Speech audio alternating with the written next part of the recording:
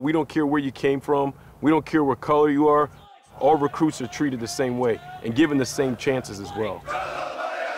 The ability to be able to treat other people fairly, firmly, and with justice, that's something that you learn in the Marine Corps.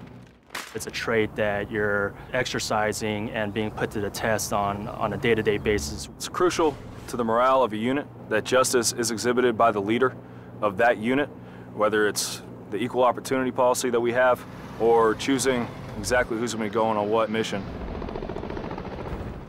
During my most recent deployment, I was interacting on a daily basis with local Iraqi officials, tribal leaders, resolving many local disputes and improving the local infrastructure. It taught me conflict resolution and understanding group dynamics. Justice is required to enforce discipline to make sure that everybody's being treated equally, that discipline is being kept throughout the unit. My job in the courtroom is to make sure that you are innocent until proven guilty, that you're, you're not treated unfairly in that respect. I've never met a Marine or even a civilian that minded being treated firmly if it was fairly.